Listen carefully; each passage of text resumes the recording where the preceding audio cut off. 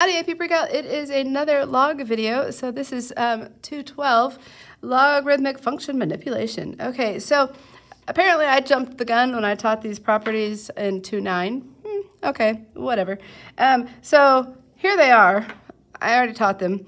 Um, so let's just go jump in here. This is equal to log base 4 of x times y. We can squish addition together with multiplication.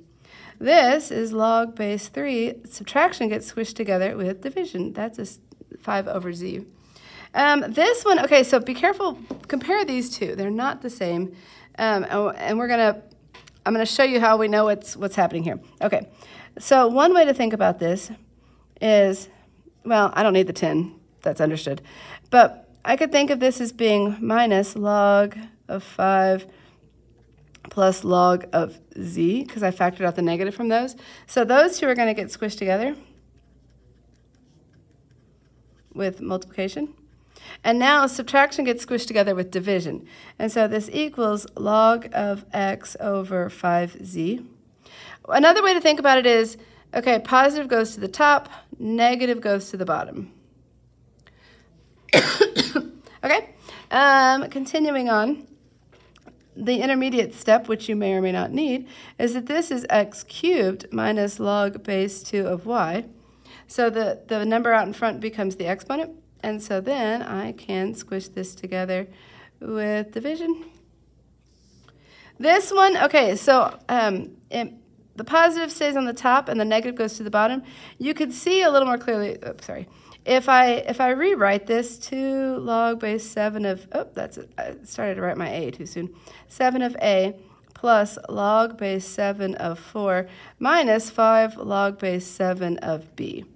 Okay, you can see that those two would get squished together with multiplication, and this is going to stick around um, and stay behind as division. Um, so this becomes log of base 7 of a squared, well, okay, I'll show every step. Well, until I run out of room. The number became the exponent. And now 4 times a squared, so then I end up with log base 7 of 4a squared over b to the fifth. I could have shown you the step where I put those together, but I didn't have enough space. Okay, so let's look at this next one. On this one, what I think, what we can always do is what I like to call a funky form of 1. We can always multiply by 1. If you multiply by 1, nothing has changed. Well, notice we have a log base 6 here. So I need somehow to introduce a log base 6 here. So what I can do is I can say, well, this is 2 times log base 6 of 6 because log base 6 of 6 is 1. This right here is what I like to call a funky form of 1. And then I have plus uh, log base 6 of x.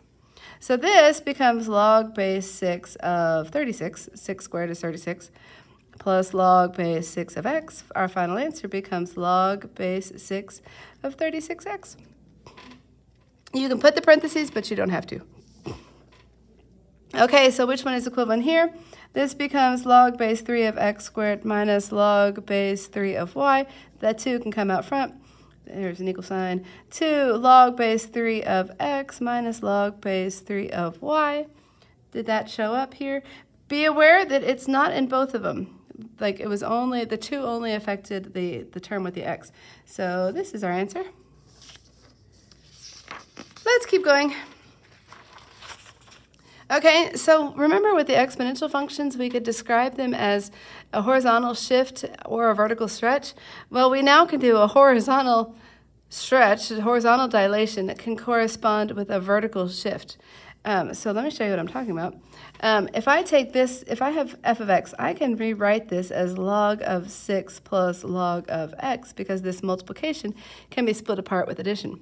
Well, this is saying, okay, here is um, g is equal to log of x. So here's g.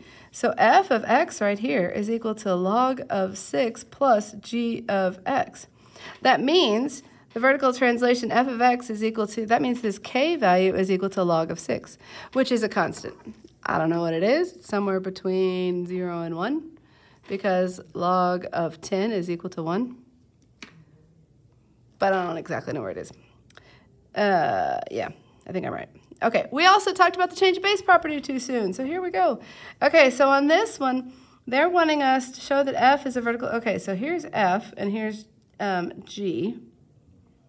Okay, so f is going to be equal to something times g. Okay, so let's look at f. f was equal to log base 4 of x. Well, notice g has a log base 9.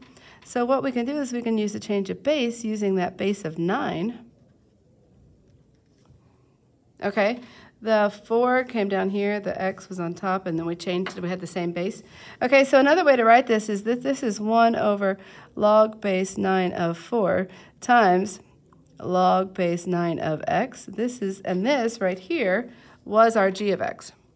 So the k value here is 1 over log base 9 of 4. Okay, that's good enough for our purposes. Um, I'm trying to think, can I use a negative exponent? It's 1 minus, yeah, well, you know what, let's just stop here. I don't want to tell you the wrong thing. Okay, um, which of the following is equivalent here? Well, so this becomes the natural log um, natural log just means it has a base of e. So this is nat. All the properties are still the same. Minus natural log of y to the fourth. Subtraction gets squished together with division. Natural log of x cubed over y to the fourth. Um, x cubed y to the fourth. There it is. Dun, dun, dun, um, one thing I don't know. I may have put this on the practice or the or the review or something. Um, we've done problems and I haven't had a chance to look at AP Classroom, but we might see something like it says like natural log of 2 is equal to A, natural log of 3 is equal to B. Um, express um, the natural log of 18 in terms of A and B, is what the directions would say. Well, so what I know is that this is the natural log 18 is 2 times, well, 3 squared. 2 times 9 is 18, 9 is 3 squared. So I can break this apart and say this is the natural log of 2 plus the natural log of 3 squared, which is equal to, now this 2 can come out to the front, natural log of 2 plus 2 times the natural log of 3. And now what I know is that the natural log of 2 is equal to a, so I can substitute that out. Natural log of 3 right here, I don't know why I'm using circles and triangles, but whatever, is this is plus 2, the triangle was b. Now, every year I have kids do the wrong thing, and they'll tell me they'll tell me a plus b squared. That is not true. Don't write that. Okay, um, it's two times that value that was b. So I like to do those. I haven't seen it so far in some of the AP material, but if I were writing an AP test, I would do that. I think it's fun. All right, go practice. Good luck.